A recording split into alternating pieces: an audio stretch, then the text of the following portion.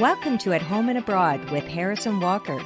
Join us each week as we explore the far reaches of the globe in search of unique characters and stories to share.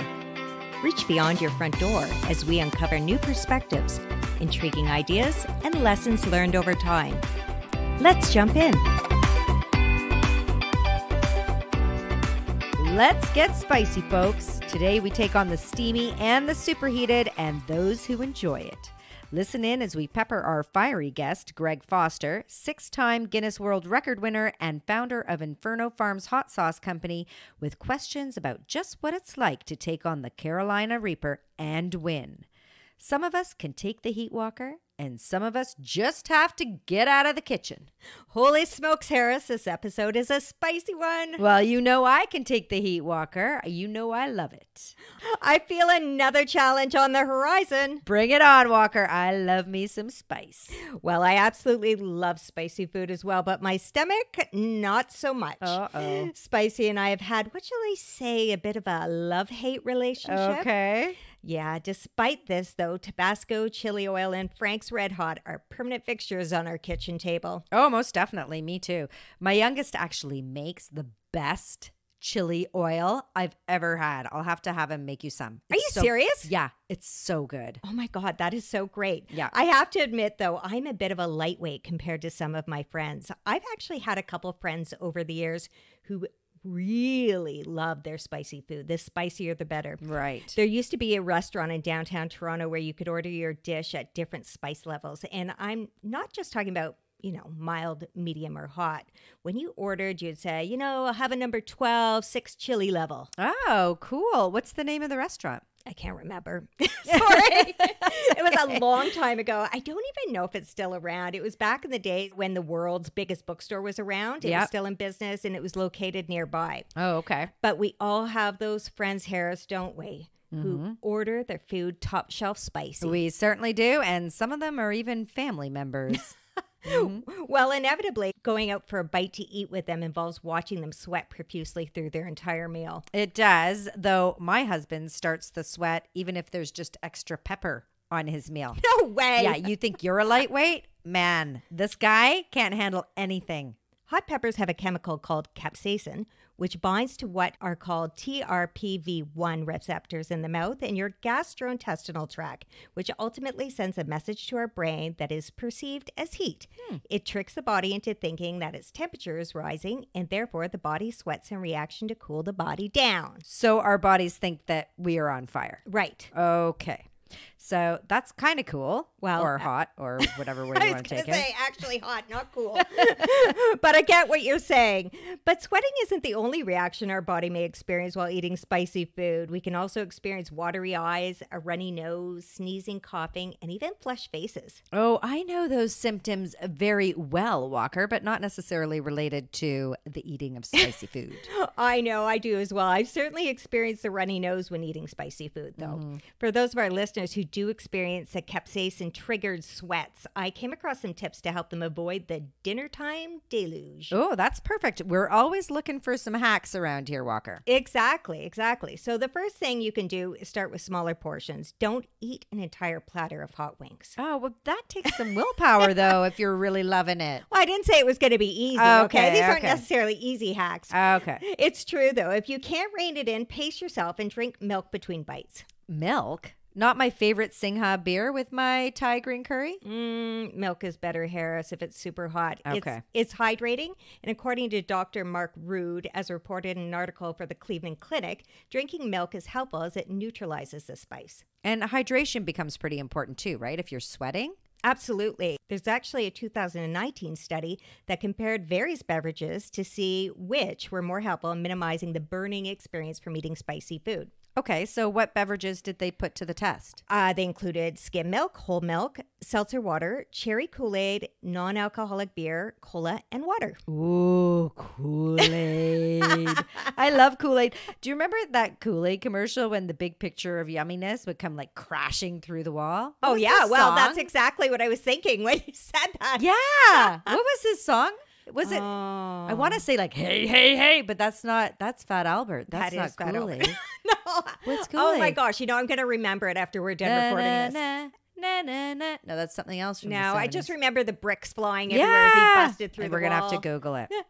In fact, it was one of the best beverages to combat spiciness, along with milk of all kinds. The casein protein found in milk provides the best cooling effect, though. Well, now I have a reason to buy Kool Aid again, Walker. I'm so excited. You do. Did you know that you can build up the tolerance to capsaicin? Really? Through repeated short exposure, just like with most other things, it seems that when you eat it, the amount needed to experience a similar effect will be increased the next time you ingest it. Hmm. It certainly isn't an overnight transformation, but happens over time. Cool, like a little hair of the dog. Exactly. Best cure ever. Maybe we should tell our listeners what hair of the dog is, Walker, because maybe it's a Canadian thing. I don't know. I don't know either. Okay. Well, it's usually an expression you, you use sort of after a night of drinking. Right. Right. Yeah, when you're feeling really, really garbagey, hungover. So Best thing ever, I think, hair of the dog is a Caesar, a Caesar. which is like a American Bloody Mary, but with clamato juice. And lots of spice. Lots of Tabasco, I don't baby. know. Do you have the spice though when you have a hair of the dog? Oh yeah. You do. oh, I make it spicy. Oh, see, I don't know if I could handle it. Oh, so The- spicy. The tomato juice or the clamato would be really good though Yeah. because it's so hydrating. You've Yeah. got, you know, your your vitamins in yeah, there. it's nutritious. So I did a little research on how the body processes capsaicin walker.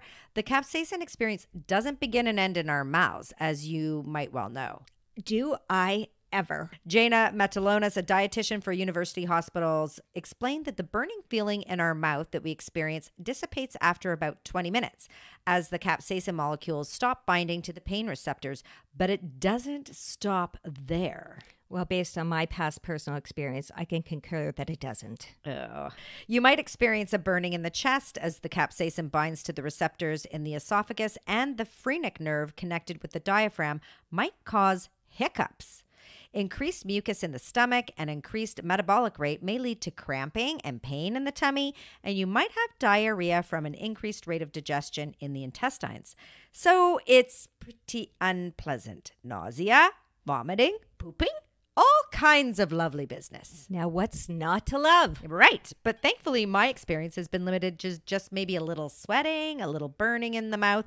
Maybe I need to up my spicy quotient. I think you're spicy enough, Harris. Oh, thanks, Walker. So, can capsaicin containing food cause long term damage to our bodies, or are they just sort of temporary effects? well, there's differing opinions on this topic. Again, Jana Metalonis noted that high school students in California were hospitalized with breathing problems after taking part in the one chip challenge. Ah. They ate one chip made from the Carolina Reaper and scorpion chili peppers. Have you heard about that challenge, Walker?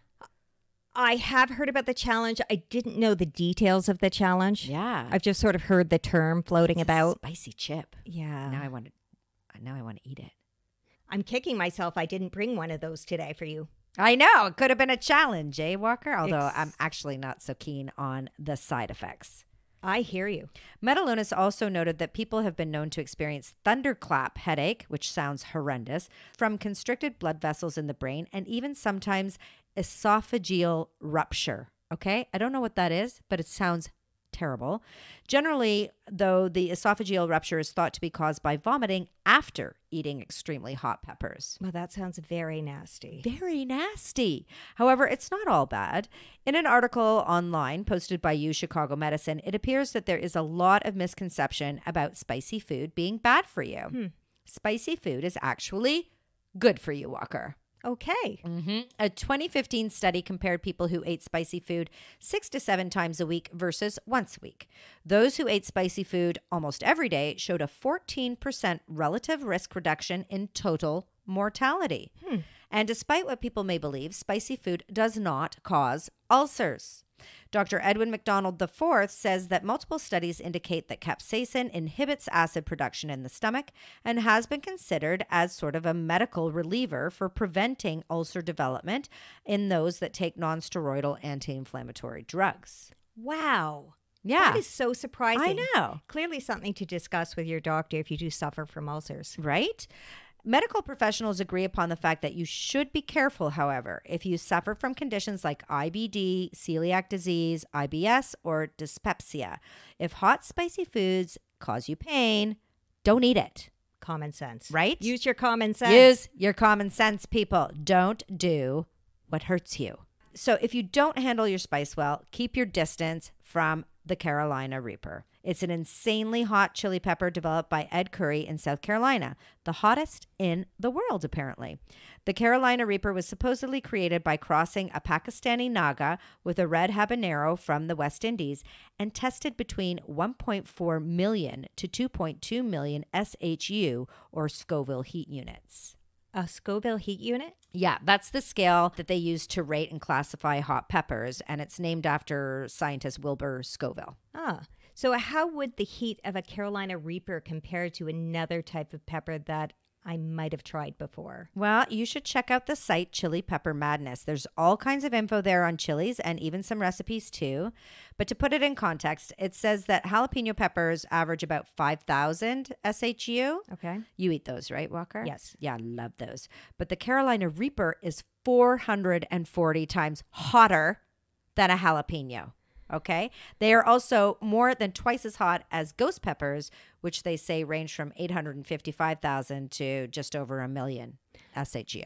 Okay, so this really puts it all in perspective for me now. Yeah. And just as you had some hacks for helping us minimize the potential side effects of spicy foods, I've got a hack for you too. Oh, you do, do you? I do. If you ever find yourself in a Carolina Reaper eating competition, the best, which you might, yeah, you never know. know. Okay. Life Okay. skills. Never say never. Never say never. The best thing to do is to get those bad boys out of your system as fast as you can. Like throw up? like throw up. Shahina Waseem, also known as the UK chili queen, is a competitive chili eater, and she claims that if you keep them in, you will experience what she calls the worst night of your life. In discussion with author Lee Cowart, she revealed that she has experienced cap cramps caused by capsaicin in 11 of the 71 competitions she's taken part in. Ugh, this is not for me. Me either. I don't like cramping up. That's not something I opt in for. She actually describes the experience as follows You can't get up. You're literally on the floor, like palms up. You're begging, and you get cold sweats, hot sweats, everything. And you're literally begging for death. It's that painful. It's like being stabbed multiple times, and it's the worst feeling. I bet throwing up can't be bliss either. Oh my gosh. After you've just eaten that crazy stuff, and now you're. I know, and you've got to relive it again. No, and throwing up is horrible on a good day. Exactly. Right? Yeah. In her words, she says, it burns coming back up as well. But then you think, well, I'd much rather have that than like 12 hours of being on the floor, hunkered up, crying and screaming in agony. Okay, when I said I like spicy food, I know now that I'm a bit out of my league, Kara Harris. Oh, yes. There will be no Carolina Reaper competitions, I think, in my future. But luckily, we have an expert in the field with us today, Walker. We're excited to introduce the hot and spicy Greg Foster, six time Guinness World Record holder and the igniter of palates worldwide as the founder of the Inferno Farms Hot Sauce Company. Welcome to At Home and Abroad, Greg. Why, thank you for having me. We are so excited to chit chat with you today. So, we have to start with your six Guinness World Records for eating hot peppers. Can you tell us about these? Everybody wants to know what set you on this path to being one of the world's spiciest guys. I've always been a spicy lover. I've always been that guy that wanted something hotter ever since I was a kid with my older brother. You know, we would go into Mexican restaurants and ask for the the salsa that wasn't out on the table that would light us on fire. Go into Thai restaurants and telling them to cook it like they'd cook for their families at home. And uh, always getting strange looks of amazement when we would eat the food and not die. Uh, you know, my my mother always had a garden, and she had peppers in the garden, be it jalapenos or habaneros or serranos. So there was always some sort of heat in in the family, as it were. And Right. um, you know, I was always looking to just enjoy the heat, and you know, it was it was just kind of like another ingredient in in a dish. It wasn't you know something shocking or all, altogether surprising. It was just kind of part of the the the common denominator within our food. You found this love of hot things pretty early on in, in life, then, did you, Greg? Oh yeah, yeah. My brother and I would, you know, play games of uh, war for, you know, or poker for for dabs of Tabasco sauce, shots of Tabasco rather oh my than gosh, you guys were crazy. yeah, we totally were. Yeah, I was Um, more the tequila kind of gal, not the Tabasco kind of gal. well, we were a little young for the tequila back in the day when our Right, when our our true experience with beginning to get spicy we were we were still in our early early preteen years when we were messing around with each other Okay. And was that going on in your friend group too, or was it limited to your, you your know family? a little bit in my friend group uh but not so much people have always been kind of you know amazed that i had this kind of knack or this desire for spiciness. Even now it's like people they they don't eat the same food that i eat. They won't they don't trust me anymore when i say here try this you know? It's It's not spicy. right. To me it's not spicy. What are you talking about? It's melting my face off Right, you know? and uh you know so it's always a challenge to to find people who are brave enough and and have enough tolerance to Yeah. to enjoy the same food or the same level of food that i'm eating Yeah, well, I would imagine that eating peppers like this is pretty rough on the body. So, do you need a specific mindset when you're sitting down to scarf down those uh, Carolina Reaper chilies, or how do you prepare for these these kinds of competitions?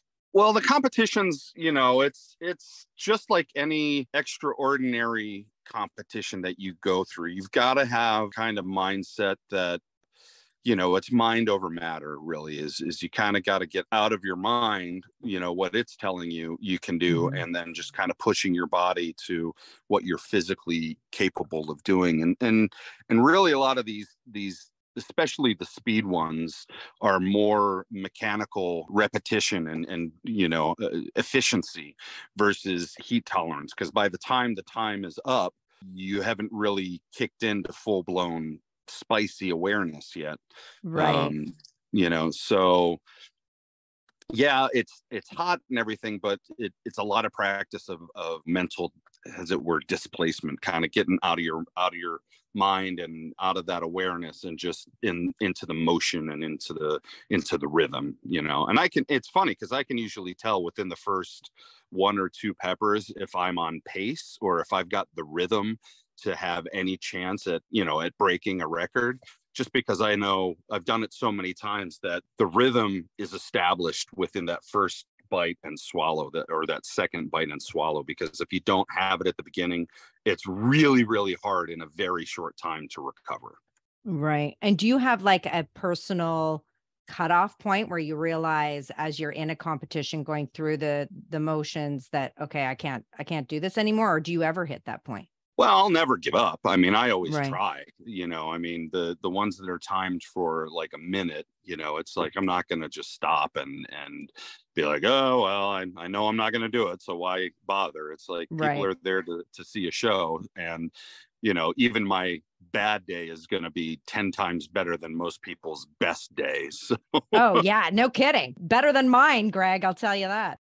because I, you know, I mean, most people get up on the stage and they'll eat one or two peppers and and they'll they'll bow out, you know, within a mm-hmm. minute. Or I'll I'll be in 10, 11, 12, up to 20 peppers and still not break a record. But who's gonna in their right mind eat 20, 25 reapers in one minute? I only you. Only you, Greg, and that's why we're talking to you today. So, how do you recover though? Like after you've swallowed all this excessive heat, how do you what do you do to recover? Or do you have to do anything? there is a whole kind of preparation I go through uh, leading up to a contest, and and very generally, it's just making sure that I don't have an empty stomach, that I'm Right. not dehydrated. You know, I might spend a minute or two just kind of quickly meditating just to kind of to get away from the that sensation of pain right, Right. I've, I've i've gotten to that point where i can turn that switch pretty quickly when i first started doing competitive chili eating it took me you know a good hour or two to feel like i was in the right mind space now i can pretty much get up on stage take a couple breaths close my eyes and i'm ready to go Wow, that's Um, impressive. But but that's with a lot of practice and a lot of mm-hmm. competitions and and you know for for the newbie or the people who are new at competitive eating you really got to find a way to center yourself and and prepare yourself and also just remind yourself that that the pain that you feel is a it's going to go away fairly quickly. B it's going to hurt and c it's not hurting you physically it's just really a trick of the mind it, it, it's all in the mind. So if you can kind of prepare yourself in that way the the actual experience of that pain is is so much less impactful like you know shock a lot of people go into shock a lot of people race themselves to the hospital and it's like well in half an hour you're going to be fine as long as you the the trick is really to to get everything out of your system as quickly as possible. So soon as i get off stage i'm chugging uh, as much milk and water as i possibly can to fill up my stomach and build pressure so i can exit everything out of my stomach within very mm. quick time um, right. but of course once you do that the heat starts all over again because reignites the palate. Dairy is kind of for the the calming effect. The way to really break down the capsaicin and the oil is to what I usually do is I'll do like a um, mouthwash gargling with with citric acid like just lime juice oh, uh, really? and what that does is yeah the the citric acid breaks down and denatures the capsaicin and the oils so the reaction will stop whereas the milk, the, the casein protein will kind of coat your mouth for a little bit, block the receptors. But as soon as all that milk is out of your mouth, it just comes back with a vengeance, you know? Okay. So it's good to kind of relieve it temporarily, but it's not a permanent fix. You're still going to have the ups and the downs. What most people think is, oh, I'll just drink some water. Well, water is the worst thing to do because it just spreads the oil around your mouth more and it actually Ooh. makes it more intense, which oh. which people you know, I see people suffering and they're drinking water. I'm just like, oh, honey, you have the no wrong idea. thing to do. yeah. or they'll they'll you know they'll be on the ground in the fetal position and they're not forcing themselves to throw up and and really that's the trick to to get over that amount of capsaicin and pepper fire that's in your belly you got to throw it up to, to to try and pass that through your system if you've never eaten a fresh reaper or multiples of one reaper you're in for a good 36 to 48 hours of agonizing pain. They they i've had people tell me that it's almost as as bad as going into labor Oh, wow. Okay. Well, I'm not going down that route because I've done that already a few times, Greg. So thanks for the warning. Okay. This is not my future career right. so, Greg, what was the most memorable competition you've ever personally participated in? And okay, we're we're waiting for the good, bad, and ugly here. I think the best one was when I actually won my first world record. It was in in uh, Tempe, Arizona. Uh, it was the one and only Arizona Hot Sauce Festival. It's like 110 degrees out. It was sunny it was only my second attempt at this record and my first one i i came in at like 62 grams and that was in portland so i i kind of knew what i was getting into but i i didn't have any inkling that i would be able to break the record and you know it was god awful hot blazing sun and uh i just went up there and and you know the stars aligned you can see the video on youtube and and it it, it just became very mechanical. And i didn't even really think that i was going to break the record but i did by one gram which you know is a miracle in and of itself. But it was also memorable because i hadn't perfected my post contest strategy yet. So i was really suffering really bad trying to throw up without you know i wasn't drinking water i wasn't drinking milk. It was i you know i was out of my mind and i was sweating so bad and my body started cramping up like my hands were cramping up as i was trying to hold on to the trash can. It was really? just yeah it was awful. I was sweating bullets and just oh it was so awful. So it was like kind of the best and kind of the worst all in one. The pain and the ecstasy of, of the, oh yeah, it was definitely a, a yin and yang, as it were. so, Greg, your company's mission is to broaden people's tastes with, in your words, exciting and inspirational flavors. How does Inferno Farms hot sauce aim to do this? You know, with 30 years of culinary experience and, and working in the hospitality industry, there's always been sort of a passion of about flavor with me. You know, I, I studied wine, uh, liquor, beer, food, food pairings, you know, the nuance of flavor. And that was something that I really wanted to bring to my company was was all that experience, all that understanding versus just kind of throwing the kitchen sink into a pot and blending it together and calling it a hot sauce. Right. And very intentional with how a lot of those things work together, all the different ingredients. Um, and then more importantly, how all of those play with food, right? So sweet, savory, bitter, you know, tart, all of those things that you want to bring to bear how do I encapsulate them within within a bottle and and and really bring, like I said, bring that to food that enhances food. Because anybody can throw peppers and vinegar and salt into a bottle and call it a hot sauce. It, it really takes a culinarian to know the difference between different ingredients and how well they work together or contrast. And I can't be the judge. I think my sauces are really good, but I think it's up to my customers and the people out there to tell me, you know, if I'm doing a good job or not. You know, I make my sauces honestly for me, but also with an understanding that I'm not the only one eating them. So I have to sometimes temper the heat levels i have to temper some of the flavors you know some of the passion ingredients i want to make sauces out of i have to consider that as far as a as far as a business. You know is it going to sell or is it too niche of an ingredient? Um you know so there's not only the the the passion of creating flavors and different sauces but there's also weighing that with the with the business sense of is this going to be something worthwhile? Is this going to be pe- something people buy? Or is it just because i you know have this ego and i want to see these ingredients in in a bottle of mine? Right. Well it sounds a lot more thoughtful and not just heat in a bottle yeah, well, as I say, I'm not just some guy who had a habanero bush in my backyard and all my buddies told me it was great, so I should start a company.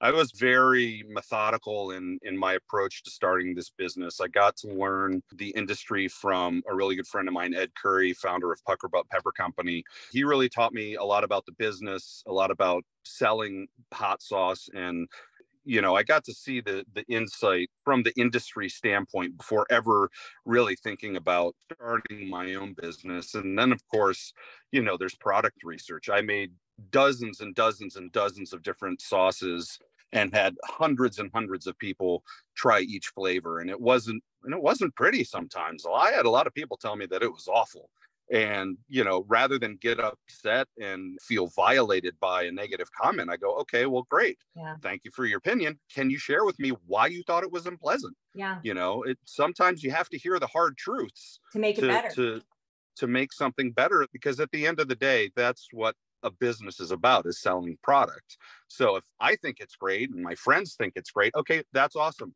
They're they're biased you know. What is the regular schmo walking into a grocery store think about the sauce when he buys it. Is he going to buy it again? Not after the one bottle purchase. I'm after capturing a palate, capturing a customer. They're so in love with the sauce that they rave about it, tell all their friends. I mean, that's how you grow a successful yeah. business. Developing a culinary relationship. Yeah, exactly. Exactly. Oh, I like that culinary relationship. There we go. that could help.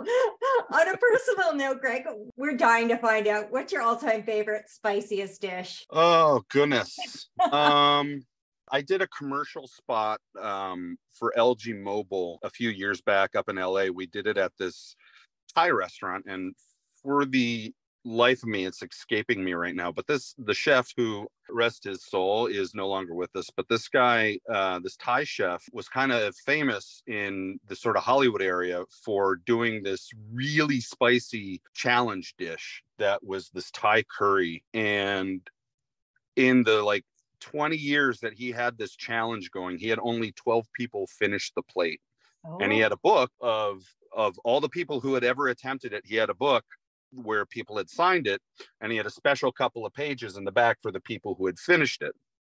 Now, being in Hollywood, of course, you thumb through these pages and you see celebrities and and you know magnets and all of these huge names that anybody would recognize. Um, so we come to film this whole commercial bit for LG Mobile, and the the whole kind of premise was I was teaching a novice spicy eater how to eat the spiciest dish. Of course, she took like one taste and was done.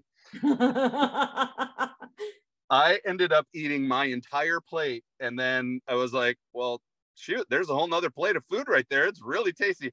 I ended up eating both plates. And the chef came out and he's like, You ate both of those? I'm like, Yeah, it's really, really good.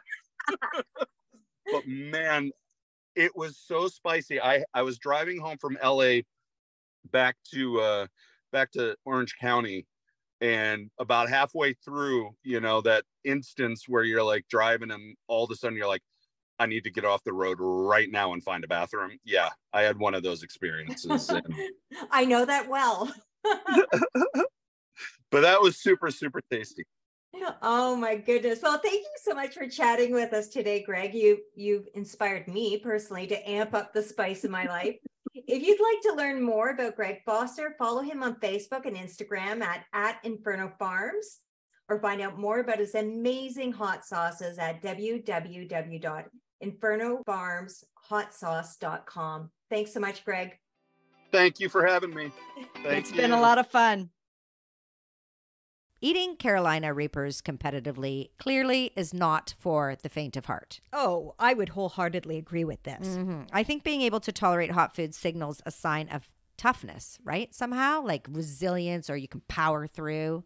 In his New York Times article, Daniel Victor discussed just this, saying a resistance to spiciness can produce shame as well as taunts from others who see their love of spiciness as an act of courage or a mark of more refined tastes. Wow, interesting. Yeah, the whole issue of spice tolerance or lack thereof can come up quite regularly when people go out to eat.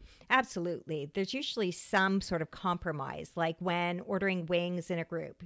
Do we order half mild, half atomic, or agree somewhere in the middle with medium? Yeah, exactly. Or ordering jalapenos on the side, not on the nachos. It's only fair, right? I love jalapenos, like bring them on.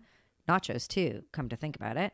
But I wonder what's behind our tolerance or lack of it, Walker. Well, according to an article written by McGill University's Office for Science and Society, the answer is both physical and psychological. I thought it was only in the taste buds. No, all roads seem to lead back to the capsaicin, which triggers our TRPV1 receptors. Apparently, it is the level of sensitivity as well as the number of these receptors that determines our tolerance. So, what's the psychological component then? Well, everyone experiences the burn, but more tolerant people take pleasure in it. Okay, so that explains why some of us keep going back to the spicy dark side over and over again, even if it doesn't agree with us, right, Walker? It would explain why I'm a glutton for punishment for mm-hmm. sure.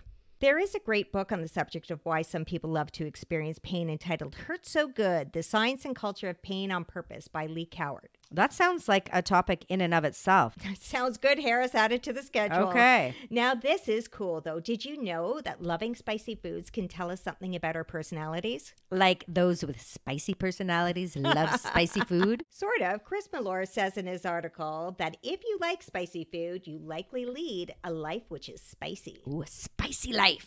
I love a spicy life. Listen to this too. Apparently, those who eat spicy food compared with those who like milder foods are 76% more likely to try new things and 62% consider themselves attractive. And- Ah. And, even more than that, 66% are content with their lives. Wow. These findings come from research conducted by OnePoll on behalf of Frank's Red Hot. Oh, well, okay. On behalf of Frank's Red Hot, maybe we have to take it with a little grain of salt or something. But I love Frank's Red Hot. That's my go to, go to.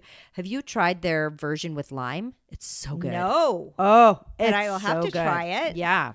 I love the quote from Kevin Vetter, the executive chef for Frank's Red Hot. He says, It makes perfect sense that those who take the heat head on are ready to take on anything and everything else. Heat fans go big on both flavor and adventure, and they're always chasing the spice of life. Oh, I love it. Good advertising. And I actually think he's on to something there. It doesn't stop there, Harris. Cambridge University Press published the findings of three studies just this January, which examined the potential relationship between spicy food and risk taking. Oh, this should be interesting. Yeah, this the first study revealed that people in general were more inclined to attribute a higher level of risk seeking to individuals who enjoy spicy food. Hmm. Those who stated they preferred spicy foods scored higher in risk taking. Okay. The second study examined whether people who like spicy food have more risk seeking tendencies. And? Yep, it seems they do. Okay. And the third study discovered that people momentarily experiencing spicy foods increase their risk taking in the Iowa gambling task, which is as it sounds. Wow. So spice lovers seem to have a tendency to experience spicy, risk taking tendencies and actions. Seems so. Hmm. But Oh. but Oh. it gets even more interesting. Okay. Another study conducted by the University Grenoble Alpes in France reported that there is a positive correlation between behavioral preference for spicy food among men and testosterone in the saliva. Well, this kind of goes back to that perception of toughness, right? Kind of. Yeah. A, a 2015 Penn State University study, though, actually looked at how gender and personalities might influence our taste. Oh. The study revealed that men tended to say they liked spicy food more than women, but the research indicated that women liked the hot taste of capsaicin more than men in a taste test. Oh, that's so interesting. Are you saying that? The research indicates that women liked spicy food for the spice taste, and men like the notion of being the type of person who eats spicy food. that is very interesting. I know. There seems to be a cultural association between strength and being manly and eating spicy food that has resulted in what is referred to as a learned social reward for men. Hmm, Somehow I'm not surprised, though it does seem kind of silly, doesn't it? It does. So, beyond gender and personality, why is it that the cuisine of hot countries tends to have spicier food while colder countries in general tend to be more bland? We need the heat in Canada, Harris. I know. Why don't we have a spicier local cuisine? I don't know. It boggles the mind. Yeah, that and why countries with the biggest bugs never seem to have screens on their windows. they just open up the shutters on, you know, the window and it's an invitation for every little critter to come on in. It freaks me out. Like, I'm not that? sure how Like, that relates to the topic, Walker. I Those are the two things I've always wondered about. you are such an insectophobe. We're going to have to work on this, Oh, man. Maybe we need to have that sort of short term exposure. oh, yeah, for oh, sure. let's try it out. That's something to figure out another day. Some cultures have a reputation for having spicier food than others, don't they, though? Yeah, they do. I know it used to be thought that spice offered an antibacterial benefit in hot countries where there were foodborne diseases or like more of a prevalence Right. of foodborne diseases. But in recent years, this theory has been challenged. Today, it still seems to be a bit of a mystery. I think we should road trip to find the spiciest foods in the world. Walker, what do you think? I think we need a bigger production budget.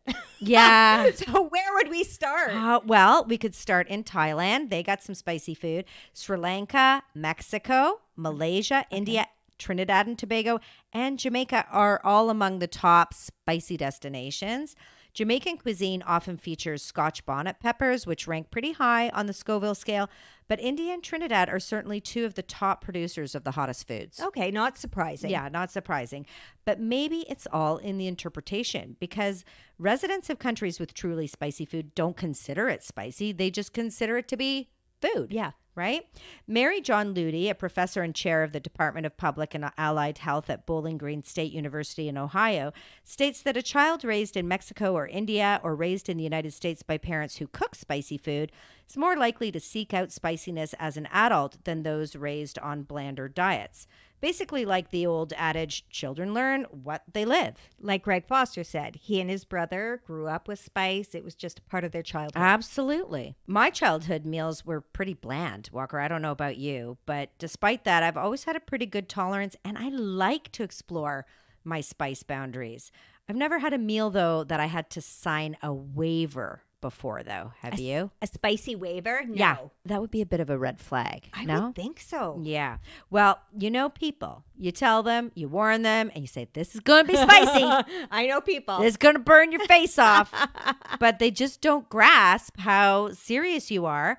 And I guess restaurants don't want to be sued because there are side effects that you get. So make way for the waiver. so, what kind of food requires the signing of a waiver? I'm concerned now. I know.